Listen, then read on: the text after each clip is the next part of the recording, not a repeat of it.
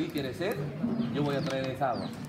Lucharán, dice, con, su- con sus hábitos que ellos tienen, con sus razonamientos, con sus imaginaciones y abrirán paso para entrar a esa realidad que Jesús quiere ver. Si Jesús quiere ser quiere uno como Esteban, trabajaré para llegar yo a esa realidad. La sed de Jesús, yo quiero complacerla. Entonces, ¿qué es? Dice, así como David en el principio tomó esa agua, al final hay guerreros gentiles. Y eso lo dice, no es David yendo a tomar esa agua. ¿Por qué? Porque es, es Jesús mirando de lejos. Jesús, el rey rechazado, porque en la Odisea dice él está fuera de la iglesia, lo han votado. ¿Sí? El rey rechazado, mirando de lejos. ¿Sí? Pero quiere esa agua que él bebió, ya bebió. Porque Jesús ya saboreó esa adoración de Esteban, esa fidelidad de Pedro, esa fidelidad de Santiago y de Felipe, de toda esa iglesia apostólica. Pero llega un tiempo donde dice David se apartaba y lloraba por esa agua. Eso muestra que un día Jesús estará adelante esa clase de vida. Por eso envió un mensaje, ¿para qué? Para que regrese la fe de los hijos de hoy hacia la fe de los padres, hacia esa fe de la iglesia apostólica. Porque Jesús lo desea. Jesús anhela, ya me cansé de bautista, metodista, de toda esa- ahora quiero una una vida, una fidelidad como lo tenía esa iglesia apostólica. Él anhela eso, es un deseo. Él quiere eso. Tiene, David tenía sed por el agua de Belén. ¿Qué significaba eso? Significaba Jesús teniendo sed por esa fidelidad que había en Esteban, que había en la iglesia apostólica. Porque todos los días se reunían en las casas, en el templo y compartiendo la palabra de Dios. Por eso cuando usted ve compartiendo la palabra de Dios, él dice, uy, aunque sea una gota de agua me están dando. ¿No? Ya es algo. Entonces uno disfruta porque sabe que estoy complaciendo lo que él anhela ver. Eso dice la Biblia. Todos los días reunían alrededor de la palabra de Dios. Entonces, ¿qué sucede? Cuando yo veo esas cosas, obviamente ni siento ni entiendo, pero cuando miro por la palabra de Dios, que es la profecía, que es el plan y que es el anhelo y el lloro de Jesús, es un placer poder hacer algo que le complazca a Él. Pero hay que pelear. ¿Por qué? Porque tenemos una manera de ver las cosas, una manera de hacer las cosas, ya tenemos algo establecido en nosotros. Pues se ve todo, todo, al- todo al revés. Exactamente. Entonces, pero si cuando viene, viene Dios, la vida mensaje nos enseña que Jesús quiere ver otra vez de regreso eso, obviamente sé que no lo tengo ni sé cómo hacerlo. Es ahí donde yo amo el saber que le agrada a él. Por eso dice, ¿por qué Esther llegó al trono? Porque Esther empezó a averiguar qué le agrada al rey, qué desea el rey, qué le falta al rey. Cuando él entendió que lo que a él le falta no es mujer bonita, sino una mujer obediente y fiel a él. Decidida a ser obediente a lo que el rey quiere. ¿sí? Le falta un carácter obediente. Entonces, cuando vio que va, pues no le importaba honrar al rey, pues él entendió, el rey no es, no es que le falte dinero ni que muchacha no quisiera ser la reina, pero ya tenía una reina, una reina hermosa. Pero ¿qué pasó con esa reina? El problema era que esa reina no le importaba la fiesta del rey, le importaba la fiesta de ella. Entonces Esther captó ese- esa, clave y dijo, ah, ya sé, voy a concentrarme en la fiesta del rey. En otras palabras, lo que al rey le gusta, lo que al rey le agrada, lo que el rey necesita, lo que el rey desea. Y cuando lo vio el rey a Esther, se impactó. Rápidamente dijo, la fiesta de bodas para Esther. Entonces, eso es lo que va a impactar a porque vivimos en un mundo donde ya está metido en la gente. Que, el ser humano es el que necesita. Dile, no, Dios necesita, tú no necesitas. ¿Qué estás hablando? Va a decir. Pero vas a la Biblia.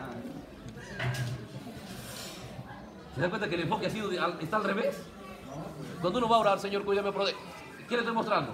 Que yo necesito y que tiene que hacer algo por mí. Pide, pide, pide. Pero todos los que se acercaron, ¿qué hago por ti? Rebeca dijo, a ver, ¿qué hago? Los camellos necesitan, yo le doy agua. Abigail dijo, David, tú tienes hambre, aquí tienes para tu hambre. ¿Sí? Los guerreros gentiles y todo. Entonces, ese es el lo que, lo que marca la diferencia es el entendimiento, porque el entendimiento altera nuestra manera de ver las cosas. Y tenemos que rehusarnos a dejarnos dominar por nuestra convicción y la manera de ver que tenemos. Y- hasta lo podemos mostrar las evidencias. Mira, ¿no ves que? ¿Sí? Esto no es la ropa que necesito, eh, quiero algo mejor. Mira, eh, tal vez mejores zapatos, tal vez mejor, eh, mejor casa. Mira mi casa como está. O sea, yo puedo mostrar evidencia que necesito, pero no tendré la palabra de Dios para mostrar que yo soy el necesitado.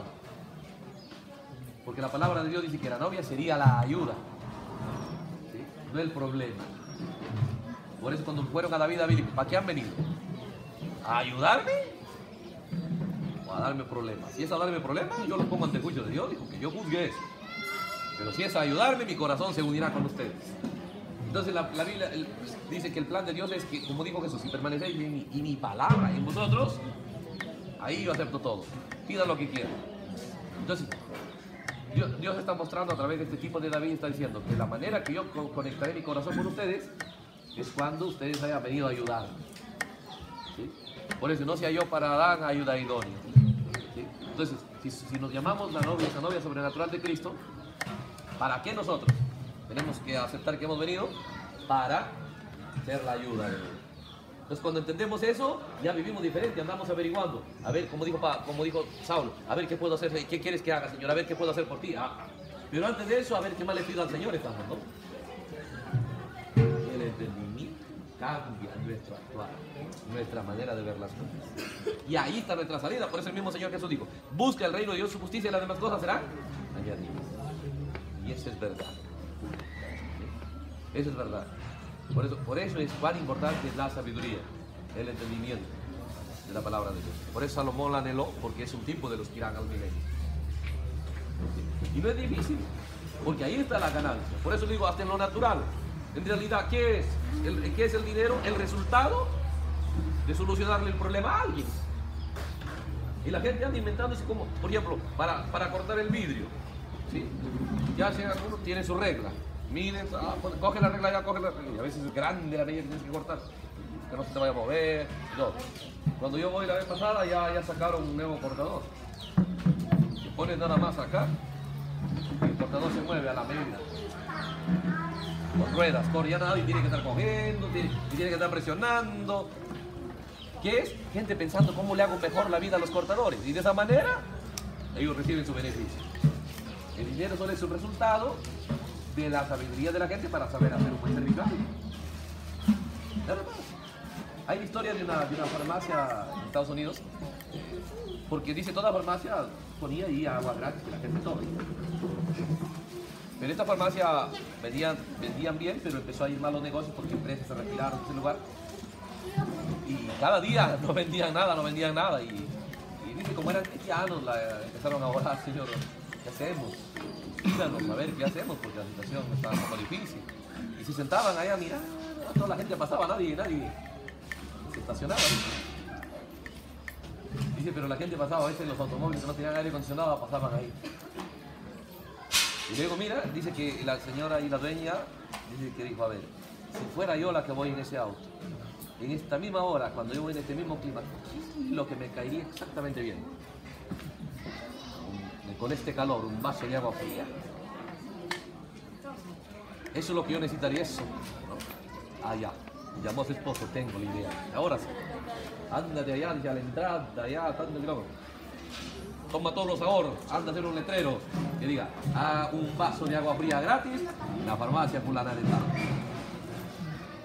Y con ese calor, porque yo digo, a ver, a ver, para yo venir tengo que tener algo que ellos deseen. ¿Qué- Entonces, ¿qué necesitarían ellos? Un vaso de agua fría les caería. Y todavía gratis. Ya daban gratis, pero nadie lo anunció. Pero cuando la gente miraba el letrero, hoy a 5 kilómetros, a 10 kilómetros, que, mm, ya se estacionaba. Llamaban al lago y luego decían, oye, y también tiene esto, y empezaban las compras. Empezó a poner otra vez uh, cadenas de, de farmacias por todo Estados Unidos. Con algo tan sencillo, algo tan simple. Pero que se puso a pensar qué realmente necesitaría la gente. ¿Cómo lograr en este momento que están todos agotados, aliviarles un poco? Esa idea de pensar en cómo ponerles un poquito más mejor su, su situación, le dio una idea que realmente hizo una cadena de, de por todo Estados Unidos. Se famoso. Y si no era la primera farmacia en dar agua gratis, todas lo daban. Pero alguien que lo anunció y puso la fotografía ahí, ¿eh? En ese tremendo calor la gente pues iba con sus carros directo, ¿eh? Y después que ya se saciaba, porque con ese calor eh, no les importaba comprar nada, no tenían... Pero cuando ya estaban todos frescos, ahora a ver, y empezaban las compras. Y tenía, dice, tenía como 100 personas distribuyendo vasos de agua. Tenía como 5.000 atendiendo las compras. Invirtió ¿eh? que la gente se ponga bien. No lo veo pérdida, ¿sí? pero eso hizo que la gente también venga bien. Entonces es lo mismo. Cuando Jesús dice, ¿quién me sirve? Es lo mismo que una empresa diga, ¿quién quiere trabajar conmigo? Automáticamente sabes que si está, te está pidiendo que quiera trabajar, hay un salario de por medio. Hay un salario. El mismo Señor dijo, ¿cómo vas a casa a comer el pan sin el sudor de tus frente? Entonces, tú vas a cualquier empresa, cualquier empresa te puede solucionar tu vida, si tú le solucionas a ellos muchos problemas. Por ejemplo, este, el, magnate del acero era Carnegie, Andrew Carnegie, en Estados Unidos. Todo le iba bien hasta que empezó a haber problemas en la administración, en- entre trabajadores, ya no se llevaban bien ya. Entonces los que aquí hacían, le hacían demorar al otro de allá, no se colaboraban entre ellos. Y empezó la pelea. Entonces, ¿qué hacía él? Pues bajo el sueldo. Y empezó las protestas ahora contra él. ya. Primero eran entre ellos, luego contra el dueño. Todo se volvió una situación bien tensa. Prácticamente estaba eh, casi segura que su empresa se caía. Cuando miró un muchacho, un joven, Chat, apellidaba, ¿sí? que era bien exitoso en lo que hacía. Y lo llama, si tú me solucionas esto, te pago un salario como ninguno. Sí que le pagaba 70 mil dólares al año, pero en, en bonificaciones, por su resultado, le daba un millón de dólares a un trabajador al año. Un millón de dólares. Era, era algo escandaloso. En ese tiempo que el dólar era 8 o 10 veces más que hoy. Era algo escandaloso. Un trabajador ganando un millón de dólares al año. Un trabajador. Me entrevistaban, ¿qué haces? ¿Qué eres experto? En nada. Sé de todo un poquito. Pero soy el que menos sabe en todas las áreas. ¿Por qué te pagan tanto? Porque tengo un don. Tengo un don. Me preocupo en que la gente primero se calme. Porque la gente dice, actúa mal porque tiene problemas en su casa. Porque tiene problemas y eso lo lleva a la empresa y, y- se terminan peleando con este, con este, con este. Pero esos son los problemas que ellos tienen en su mundo interior. Me preocupa quietarlos, descubrir qué don tiene, trabajar con ellos. Lograr, trabajar, trabajar hasta hacer que la persona se centre en lo bueno que él puede hacer y se olvide de lo malo. Y de esa manera, si no tienen problemas con ellos, no tendrán problemas con nadie. Una armonía tan impresionante que lo pagaba tan, tan, tan grande cantidad. Entonces, si le solucionó a este empresario su problema, también solucionó su problema de él. Si, si todos los reinos de este mundo solo es una imitación, el diablo es un imitador, es una imitación de lo que Dios tiene. ¿sí? El diablo mismo dijo, seré semejante al Altísimo, se propuso imitar, es, un- una imitación. Entonces es lo mismo.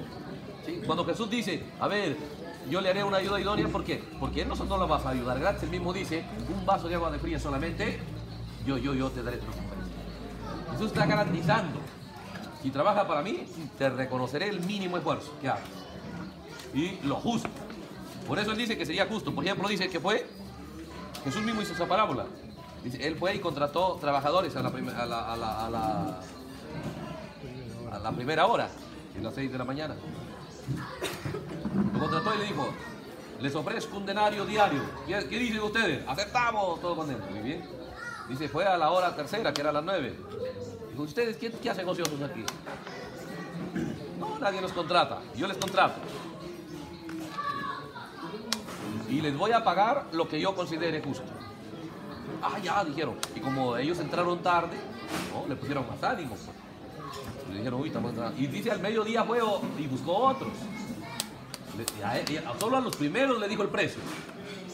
A los otros dijo, les daré lo que es justo, vayan y trabajen. Y luego dice, a lo último fue a la hora onceava y a las 5 de la tarde.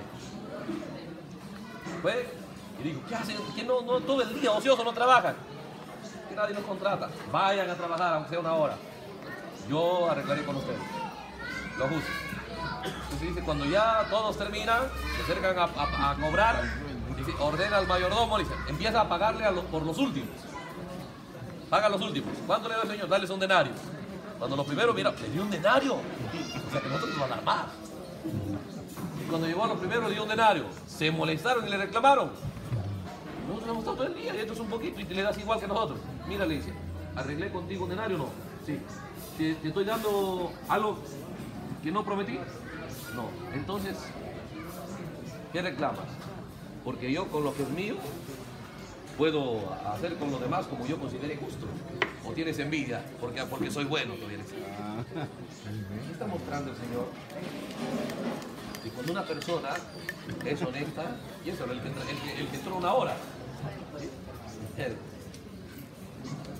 ¿no? Llegas a esta hora. ¿Tú qué crees? ¿Que se levantaba un momentito a distraerse? Trabajó pues, sin, abrirlo, sin voltear ni a la derecha ni la izquierda, seguro. Entonces, Dios está mostrando que Él, al verlos trabajar con la actitud correcta, con el ánimo correcto, porque ni los ofreció nada, solo le dijo, le daré lo que es justo. Entonces les, les dio el mismo salario que los primeros. Pero has trabajado al final. Pues Dios está mostrando que en el tiempo del fin, Él llamaría ¿sí? gente a trabajar en su vida. Y le daría lo mismo que lo daba a todos a través de todos. Los que han pasado la más difícil. Y a nosotros todo fácil, porque ahora es puro entendimiento. Todo por el entendimiento ya sabes cómo hacer las cosas. Pero allá era, era golpes, palizas, era hornos de fuego, era masacres. Piénsalo, las edades de la iglesia, fue terrible. Trabajaron arduamente. Pero ahora, Dios ve la pasión que le pones, el ánimo que le pones. Y te va a dar lo mismo, la misma recompensa. Porque Dios está juzgando la manera en que hacemos las cosas. No solo lo que hacemos, sino cómo lo hacemos. ¿Te cuenta? Entonces, eh, si nosotros no miramos con entendimiento y con sabiduría la propuesta que Jesús nos hace, ah, sea que tengo que olvidarme de mis problemas. O sea, ser cristiano significa abandonarse y solo trabajar por Él, porque si Él necesita una ayuda, yo necesita alguien que lo ayude, sea yo o qué. ¿Es cierto? Pero cuando uno entiende, uno entiende que si Él me está hablando, ya sé que primero Él me es justo, porque en toda su palabra Él dijo, el obrero es digno de su salario. Pues tú quieres que nos va a estafar, si nos pide trabajar para Él, ¿no nos va a estafar? No, hermano, por eso que el acercamiento que lo hacemos, lo hacemos llenos, llenos de ánimo, buscando que nos dé una oportunidad de trabajar para Él. ¿Sí? ¿Por qué? Porque Él es justo, muy justo.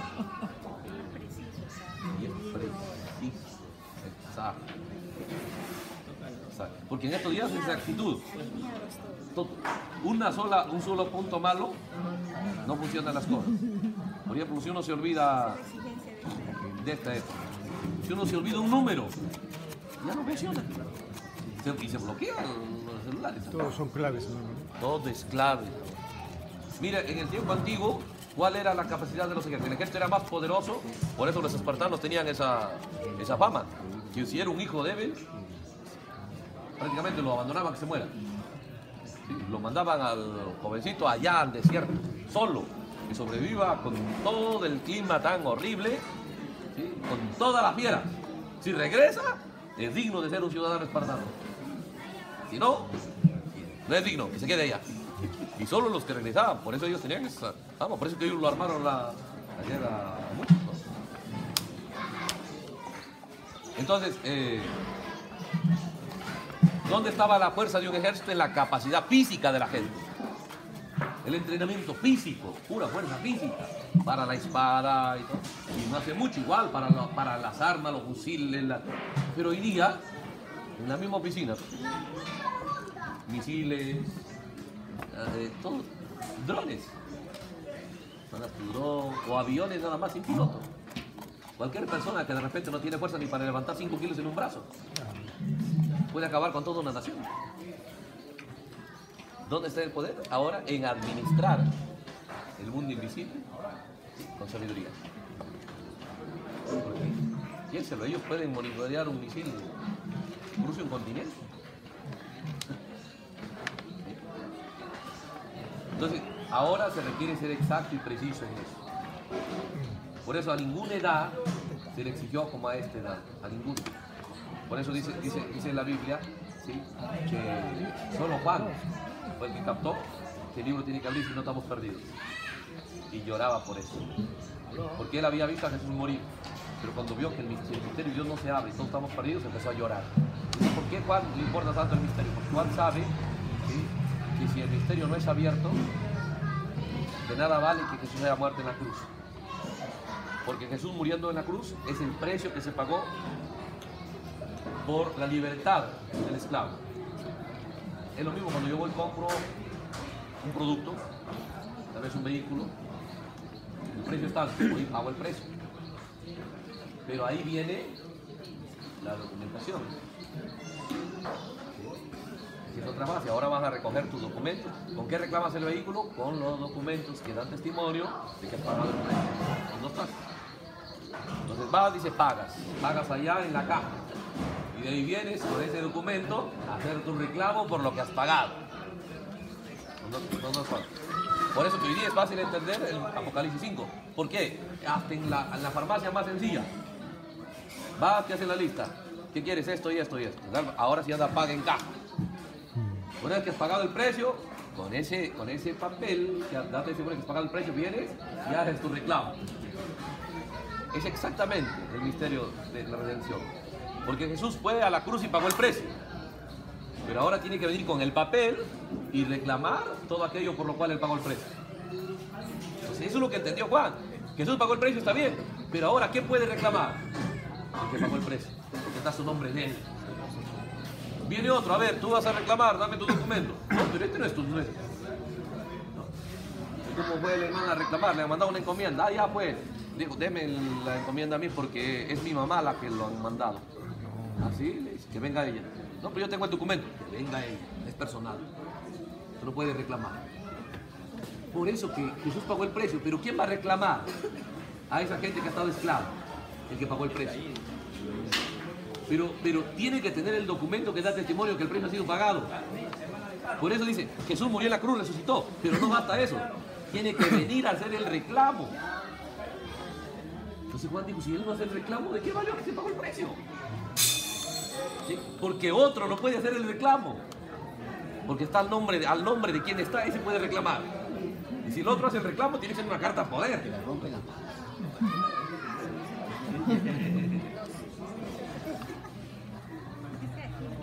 ¿No es cierto? Allá no hay a quién le damos la carta a poder. ¿Se da cuenta? Entonces, al entender Juan eso, lloró, dijo, él tiene que venir. Entonces sacó, dice, por eso el profeta dice, ¿qué son los siete sellos? El título de propiedad de todo aquello por lo cual Jesucristo pagó. Pues, ¿Quién es digno? En otras palabras, ¿de quién es esta mercancía? Fulano de tal que se presente. Y no había en el cielo, no había en la tierra. no. ¿Por qué dice no había? Porque estaba detrás del trono intercediendo, haciendo la obra de intercesión todavía. Las edades de iglesia no habían terminado. Pero una vez que terminaron las edades de iglesia, dice, porque el, el intercesor entraba en la fiesta de expiación y empezaba a esparcir la sangre del macho cabrío.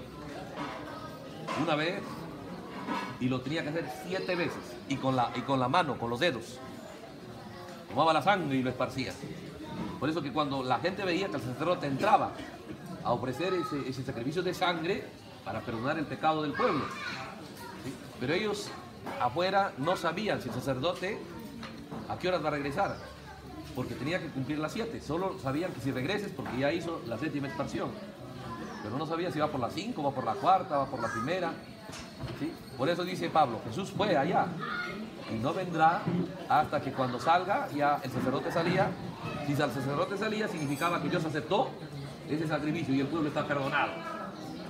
¿Sí? Por eso Hebreos 9 dice que la, próxima vez que Jesús aparezca ya no hay relación con el pecado. El pecado está sacado fuera de escena. El pueblo ha sido perdonado, el sacrificio ha sido re- recibido, la sangre ha sido recibida.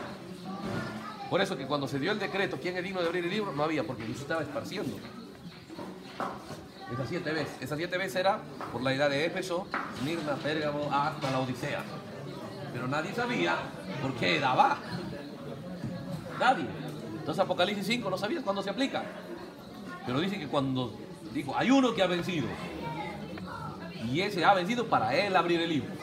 Él nada más tiene derecho de hacer ese reclamo. El abrir el libro y romper sus sellos. Pero ¿dónde está cuando de pronto aparece como un cordero inmolado, manchado de sangre? Pero cuando rugió, dice, era como león. Cambia de ministerio. Ahora va a hacer el reclamo. ¿Cómo? Empieza y nos envía su, nos envía su palabra. Tú eres mío. Tú eres mi servidor. Pero si voluntariamente lo rechazo, cuando el esclavo rechazaba voluntariamente ser libre, ¿qué era? Marcado en el oído. Por eso dice, ¿qué es el mensaje? El mensaje es la noticia de que ya eres libre.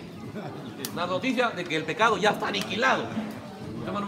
Ya no tienes por qué dejarte dominar por el pecado, porque la noticia es que el pecado ya ha sido derrotado, ya ha sido vencido, ya eres libre. Ahora, por esa noticia que quieras todavía ser envuelto en el pecado, y es cosa tuya. Es voluntariamente. Porque ahora sí es posible vivir sobre toda cosa errada, sobre el pecado, sobre toda cosa errada. ¿Por qué? Porque la noticia viene, el sacrificio, siete edades de iglesia ha sido recibido, la sangre ha sido recibida.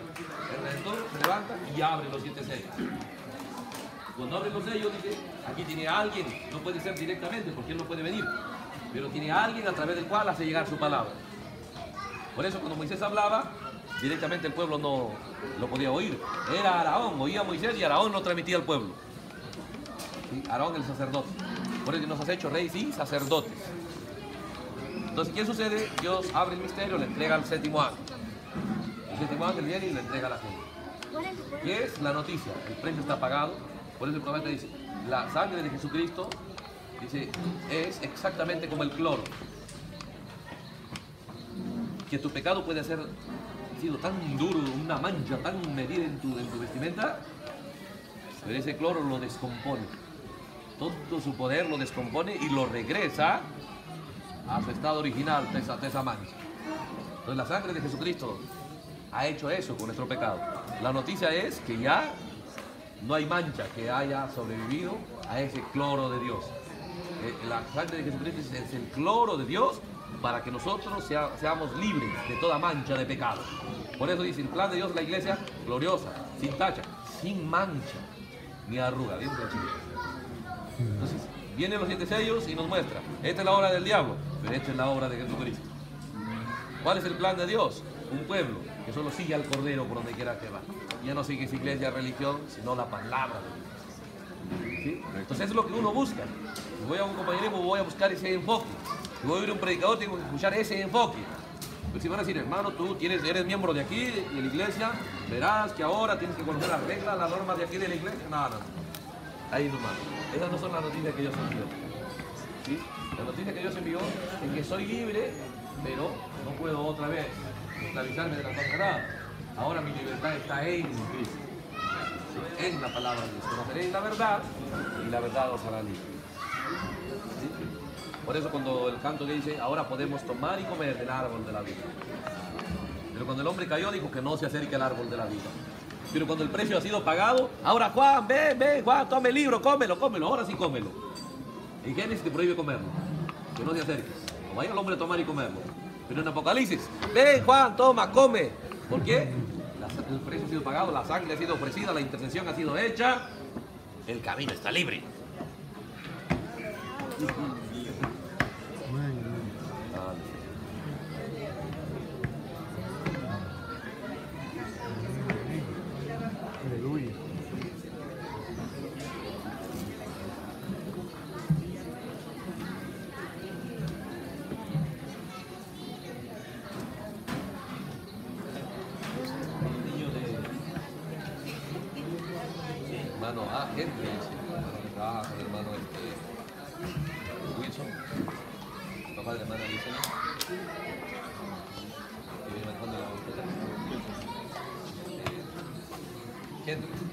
Tiene su niñito. Salga afuera. Usted ha predicado más de dos horas. El niñito. Ah, sí, ¿cómo se da cuenta? Sí, dice. Yo ya sé medir, ya sé cómo medir el tiempo. Pegaba, dice, y dígame, ¿usted no tiene sed? Uno piensa que los niños están ahí nomás, ¿no? Pero están vigilados todos. y pequeñitos.